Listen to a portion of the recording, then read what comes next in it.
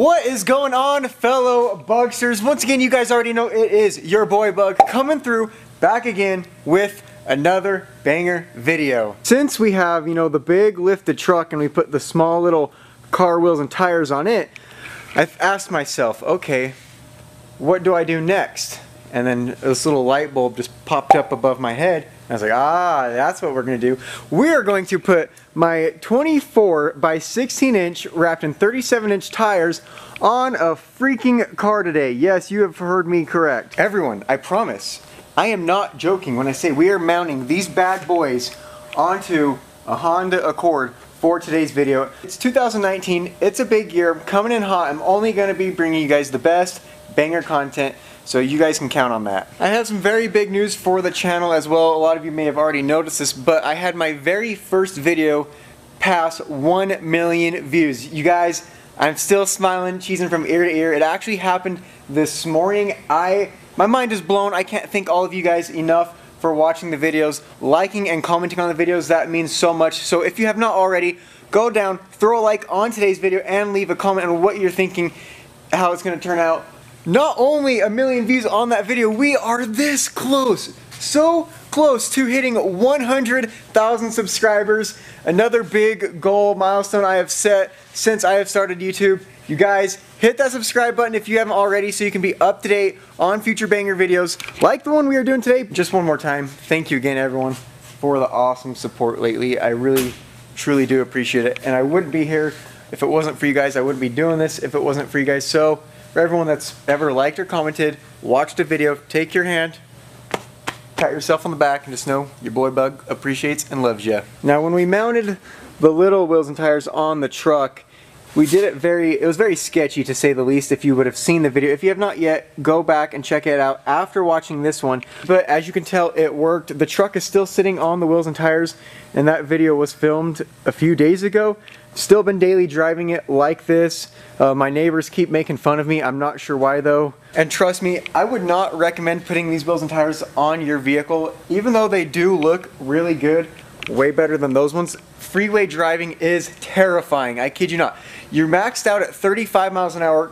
You're causing traffic jams. Cars are honking at you, flipping you off, yelling at you. Mounting these wheels and tires on this car, we will be taking a plate mounting it on here it'll be half inch steel plate it'll have this same bolt pattern into it and then we'll have some round steel tube that will come out 12 inches with another plate on it that will mount to the back side of this wheel so we're basically making our own wheel spacers that'll be 12 inches long but one solid piece and hopefully that'll kick the wheel and tire out just enough to where it won't hit the fender and we should have some kind of little bit of a turning radius. I think these wheels and tires will look better on the Honda Accord than they did my truck because you know it's a stretch tire, Hondas are icy cars so this will be a nice wombo combo. Those are my non-pavement Princess tires for off-roading and climbing Mount Everest. This beast right here is going to be known as Clifford Jr. I love how it happens to be the exact same color as my truck. Here is the half inch steel plate. We have our circles drawn and then we will plasma cut them out, weld our 12 inch cylinders to that which will kick the wheels and tires out and then we'll take another one of these after it's cut, mount on the top, cut the lug pattern out so the studs can go through it. We'll put the lug nuts on. This is probably, I don't know if this is strong enough for those wheels and tires because the car has to weigh at least 8,000 pounds. So hopefully this holds up. I'm not sure if it will with the car weighing that much. What do you guys think down below in the comments? I want to come back home. You gave up on me. You kept my freedom. Oh,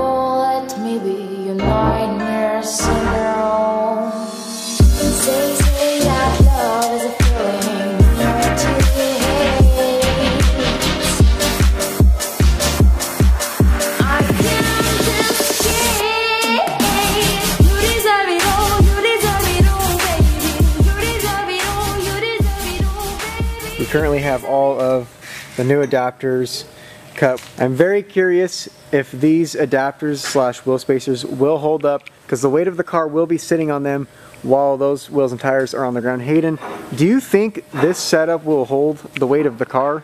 You know, that's 7,000, roughly maybe 8,000 pounds. I don't know if that's gonna, if this Like- is gonna hold it or not. Go down below in the comments section and let me know if you guys think that this is going to work, um, how it's going to perform, if it's going to break. Me personally, I think it's gonna work. It's gonna look sweet with the freaking wheels and tires hanging out a mile, but uh, turning, I'm not sure, maybe we should have went a little longer so we can turn, but if you go too long, you're losing strength, but I think it'll hold up. There's a slight chance it could break and destroy the car, but we'll see. All three of these are done, ready to go. The one that is placed in the wheel right now just needs to be tacked, welded on the back just for extra strength. Just so you all know, this is what happens when you only use a plasma cutter and not you know a fancy drill press. Is this video considered redneck or rice? Because the engineering to everything's pretty redneck, but at the same time extremely ricey. We're using a Honda, which could be classified as ricey, but with truck wheels, which is kind of redneck, but also ricey because they're stretched tires. You guys, let's get that debate going down below in the comment section. Let's get a war going. Comment redneck or rice.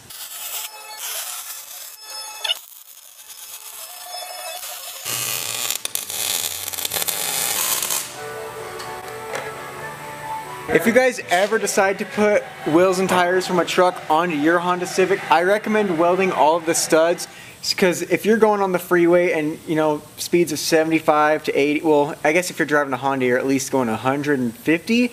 You just don't want these to fall off the car because that is a big lawsuit that you don't want or me. want to come back home. You gave up on me. You kept my freedom. Oh, let me be your nightmare syndrome.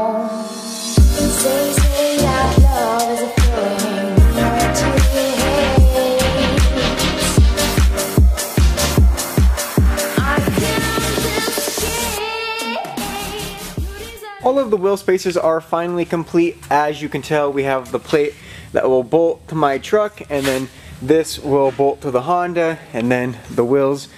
So on from there, we are now getting ready to jack the car up, pull the factory wheels and tires off of the Honda, so we can finally fit these bad boys on and start driving it around. I'm still very curious if this is gonna work or if the front end is just gonna break because of the weight of the car, if the spacers are gonna crack, snap, I, I don't know, because again, the car weighs, we're guessing, at least seven to 8,000 pounds. Both of the rear wheels are mounted on the Honda right now, and I, I can't even gather thoughts or words, just wow. Here is the sneak peek of just what the backs will look like. That is the stance we will be rocking today in the Honda Accord. We got the passenger side all done as well. Now it is time to set the back down and just pray. Everyone pray for me. Keep your fingers crossed that nothing breaks. Do you guys think this is gonna work? Uh, all right, Hayden, go ahead, set it down. oh, yes! Face down, butt up.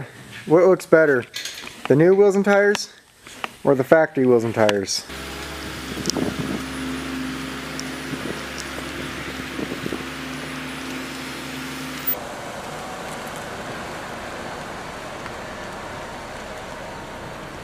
Front's on right now, and we got this guy over there in his truck taking pictures.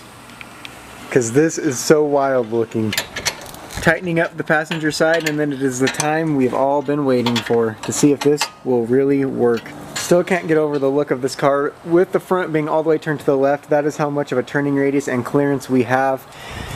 Also with the front, it's where the engine sits and it's going to put a lot of weight and stress on these spacers and studs. I hope this works. Alright Hayden, set Clifford Jr. aka the Honda Accord with the big wide wheels down. See if this ends up holding. Oh my, wow. This is freaking wild. What do you think right now Hayden? Feels pretty good. Do you feel cool? Yep. You look pretty cool. Looks like you still got some good turning. Oh yeah. Go to Moab now. Yeah, take the girl to Moab maybe?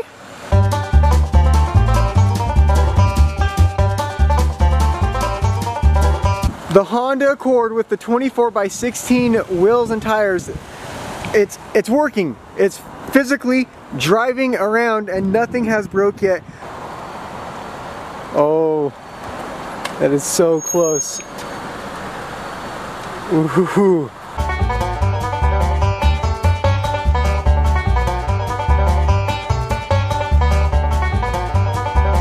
Just spinning with my fingers. So we're gonna tighten some of these guys down real quick and then keep on trucking. So I'm sure by now you've all seen this wheel and tire setup on my 2011 Ram Cummins. You've now seen it on a 2000 Honda Accord. What does this setup look better on? The truck or the car? Let's get a heavy debate going down below. The stance on this is unreal. And look at the clearance underneath the car now. You don't even have to jack it up to work under there. You could probably replace the transmission without using one jack. Since we have your everyday car with an off-road wheel and tire setup, I think it's only fair and to see if it can actually go off-roading.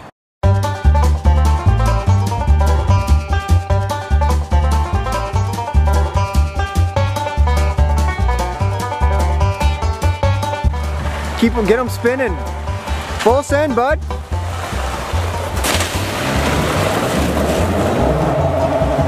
Yeah. Yes.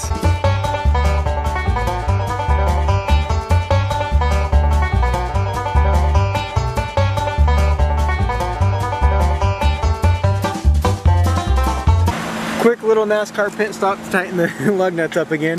50 million likes on this video and we'll do it with a brand new Lamborghini Huracan.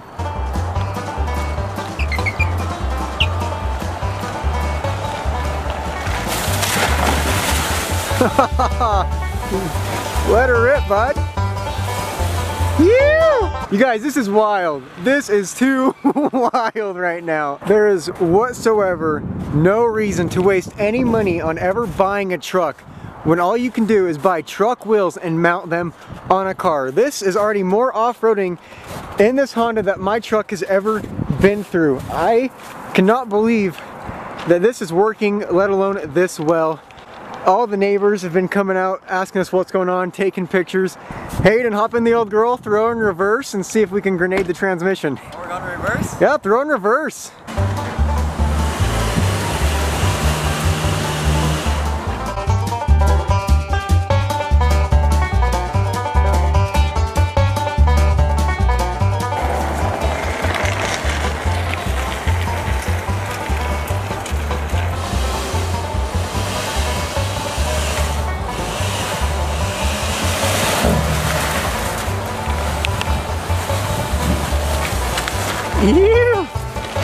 Send it, boy!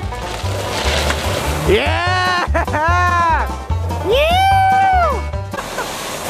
Oh! Come on, Hayden. You gotta make it up the hill. Full sends only. Yo!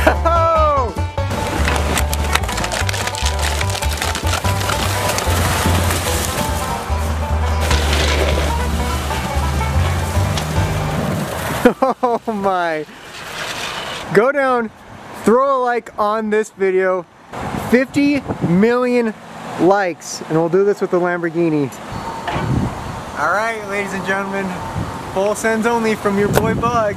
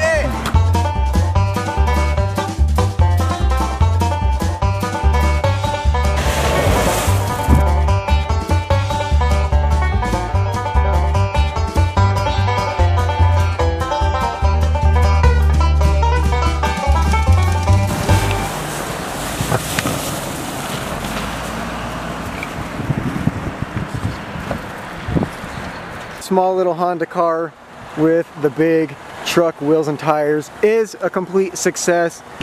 I would have never in my life been able to think or tell someone that, yeah, I just went off-roading in a Honda Accord. I say this in all my videos, life is all about having fun. If you're not having fun every single day, what are you doing? And that's the purpose of this channel. While I have fun, I want to film it, put it out on the internet for others to watch, laugh, and just have fun with me. Oh, you're so close. Figured we will wrap it up there. My camera battery is at 1%. We made the car back into the shop without having to go get the forklift and pull it in because the transmission is now completely toasted. We're lucky to catch first gear. We're gonna end everything here. I owe huge credit and shout out to my brother for helping me fabricate, film, and just make all of this happen along with my dad. He helps a lot of this and hit the subscribe button so you can be up to date and on track for the next banger video I drop. Your boy Bug is out. I'll see you again. Keep smiling, keep having fun. That's what life's all about. I love you all. Peace.